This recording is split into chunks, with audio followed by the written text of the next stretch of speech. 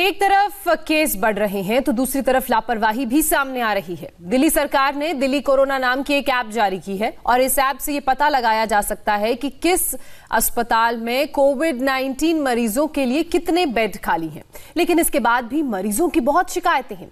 LNJP अस्पताल पर आरोप लगा है कि उसने एक मरीज़ को एंट्री देने से इनकार कर दिया, जिसके बाद मरीज़ की अस्पताल के गेट पर ही मौत हो गई।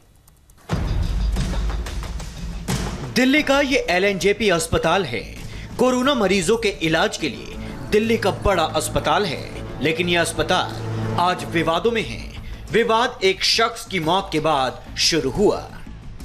दिल्ली के एलएनजेपी अस्पताल के बाहर छियासठ साल के एक बुज़ुर्ग की मौत हो गई, जिसके बाद घर वालों ने एलएनजेपी अस्पताल पर गंभीर आरोप लगाए। बुज़ुर्ग की बेटी अमनप्रीत ने ट्वीट किया, जिसमें उन्होंने लिखा मेरे पिता को हाई फीवर है। हमें उन्हें अस्पताल में शिफ्ट करना होगा। मैं दिल्ली के एल एन अस्पताल के बाहर खड़ी हूँ। उन्हें अंदर दाखिला नहीं दिया जा रहा है। उनको कोरोना के अलावा हाई फीवर है और सांस लेने में भी दिक्कत है। उनकी मदद नहीं हुई तो वो जीवित नहीं रह सकेंगे। कृपया मदद करें। इस ट्वीट को अमनप्रीत ने दिल्ली के मुख्यमंत्री और स्वास्थ्य मंत्री को टैग भी किया था। ट्वीट करने के कुछ देर बाद ही अमनप्रीत ने एक और ट्वीट किया, जिसमें उन्होंने लिखा, उनकी मौत हो चुकी है।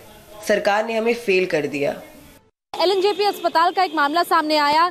एक महिला अपने पिता को लेकर अस्पताल के बाहर खड़ी रही। पिता कोरोना पॉजिटिव पाए गए थे, जिसके बाद उन्होंने लगातार ट्विटर पर या अलग अलग माध्यमों से सरकार से, दिल्ली सरकार से, अरविंद केजरीवाल से मदद मांगी, लेकिन उन्हें कोई मदद नहीं मिल पाई। वो अस्पताल के बाहर खड़ी थी, जब अस्पताल में उन्होंने जाकर कोविड अपने पिता को भर्ती करवाने के लिए बेड के लिए पूछा तो अस्पताल ने मना कर दिया। अस्पताल ने कहा कि उनके पास कोई भी कोविड बेड इस वक्त उपलब्ध नहीं है। महिला अपने पिता को जब लेकर यहाँ पर खड़ी थी, अस्पताल में जाकर पूछा तो उन्होंने कहा कि गंगाराम अस्पताल से रेफर करवा कर लाइए और उसके बाद ही उनको एडमिट किया जाएगा। जब अपने पिता को अस्पताल, गंगाराम अस्पताल ले जा रही थी, पिता की तबीयत बहुत ज़्यादा खराब थी, जिसके बाद पिता ने बीच रास्ते में ही दम तोड़ दिया और उनकी मौत हो गई।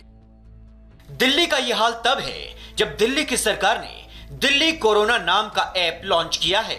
जिसे साफ़ साफ़ पता लग जाता है कि किस अस्पताल में कोरोना के मरीजों के लिए कितने बेड खाली हैं। मसलन, एलएनजेपी अस्पताल में कुल 2000 बेड हैं। इनमें से 888 भरे हुए हैं और 1112 खाली हैं। जीटीबी अस्पताल में कुल 1500 कोविड बेड हैं 46 भरे हैं और एक हज़ार चार सौ चौवन खाली हैं।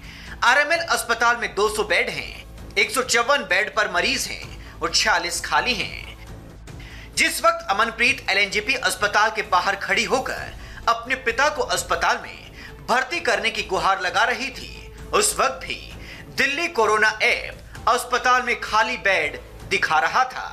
कई सवाल जो है, वो इस वक्त दिल्ली सरकार पर इस मामले को लेकर उठ रहे हैं कि आखिर अगर बेड्स की संख्या है तो मरीजों को भर्ती क्यों नहीं किया जा रहा है? और कई ऐसे मामले भी सामने आ रहे हैं, कई ऐसे केसेस सामने आ रहे हैं जिसमें ये पता चल रहा है कि जो इस ऐप पर डेटा अपलोड किया जा रहा है, वो डेटा अस्पताल में जो असल में आंकड़े हैं, उससे काफ़ी ज़्यादा अलग है। बुज़ुर्ग की मौत के बाद जब विवाद बढ़ा तो एलएनजेपी अस्पताल की तरफ़ से सफ़ाई आई।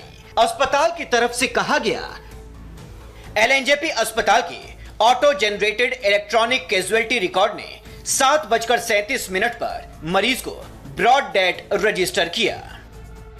ड्यूटी पर तैनात अस्पताल के स्टाफ ने कंफर्म किया कि मरीज़ को सात बजकर दस मिनट से साढ़े सात के बीच लाया गया। अस्पताल इस बारे में भी सफ़ाई देता है कि मरीज़ को अस्पताल में दाखिल नहीं किया गया। अंदर आने के बाद मरीज़ को डॉक्टरों ने देखा। दिल्ली के स्वास्थ्य मंत्री ने भी उसी बात को दोहराया, जो एलएनजेपी अस्पताल की तरफ़ से कहा गया। मैंने सारी रिपोर्ट मंगाई है। उनको इमीडिएटली हॉस्पिटल में लिया गया था। उनको ऑक्सीजन भी दी गई थी, उनका पूरा ट्रीटमेंट करने की कोशिश की गई थी but he was almost dead जब आए थे। दिल्ली स्वास्थ्य विभाग की टीम आज अमनप्रीत के घर जाएगी।